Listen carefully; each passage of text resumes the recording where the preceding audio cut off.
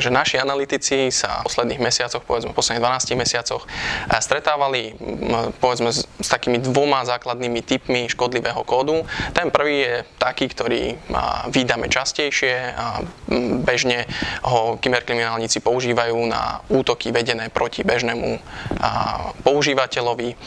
Pri tomto type malvéru je taký trend klesajúcej kvality toho kódu, respektíve postrádame tam nejakú snahu zlepšovať ten kód a proste vytvárať niečo, čo by bolo veľmi nejak sofistikované a veľmi ťažko povedzme detekovateľné a, a, a podobne.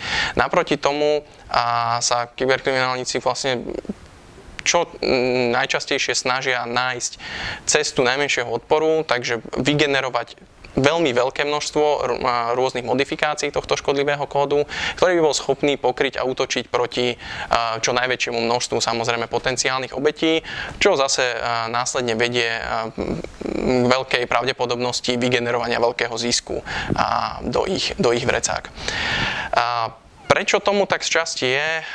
V poslednej dobe sa nám rozvíja trend, ktorý sa nazýva kyberzločin ako služba, kde vlastne existuje reťazec kyberzločincov, ktorí majú rôzne funkcie v tejto mašinérii. Tí základní, alebo to, to jadro tvorí pár tých, ktorí skutočne vedia nejaký škodlivý kód vytvoriť, vedia naprogramovať, a, a uviesť to do nejakého funkčného stavu. Ten zvyšok potom funguje ako nejaká distribučná sieť, ktorí vlastne predávajú tento kód, prípadne ho iba prenajímajú. A dokonca existujú skupiny, ktoré zabezpečujú podporu a v prípade, že by ten škodlivý kód bol z nejakého dôvodu nefunkčný. Takže skutočne je to, je to akoby legitímny, legitímny biznis, legitímne odvetvie. No a práve vďaka tomuto, také, také tej rozšírenosti a, a toho kódu a distribúcii pre, pre široké akoby masy, a tá kvalita klesá, pretože v podstate aj ľudia, ktorí nič takéto vytvoriť sami o sebe by nevedeli, tak sú jednoducho schopní si niečo takéto kúpiť, prenajať a potom používať ako nástroj pre okrádanie a, svojich obetí. Druhá skupina a, toho malvéru je ďaleko sofistikovanejšia čo do vnútornej štruktúry a, a je aj ďaleko obťažnejšie e, ju detekovať a proti, proti nej bojovať. Pár takýchto príkladov sme zaznamenali aj v roku 2014. A jedná sa o tzv. buď to sú to označované ako targeted attacks alebo, alebo nejaké persistent threats, takže hrozby, ktoré, ktoré nejakým spôsobom a, obeď alebo danú sieť nainfikujú a, a snažia sa vlastne čo najdlhšie udržať v tej sieti bez, bez toho, aby boli detegované.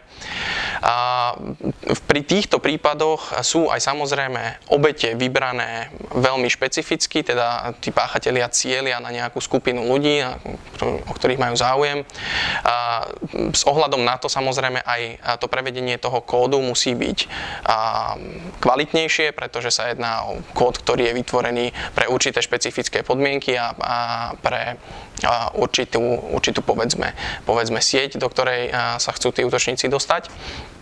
No a na to, aby samozrejme sa vyhli detekcii, tak aj ten, ten spôsob tej infiltrácie musí byť, musí byť sofistikovanejší a často využíva buď to zraniteľnosti, ktoré sú síce známe, ale, ale spolieha sa na to, že, že tá daná obeď nemá ten systém opečovaný, povedzme, že tá, tá zraniteľnosť je relatívne nová a ten človek nemal dôvod alebo nechcel z nejakého dôvodu si ne, a neošetril túto záplatu.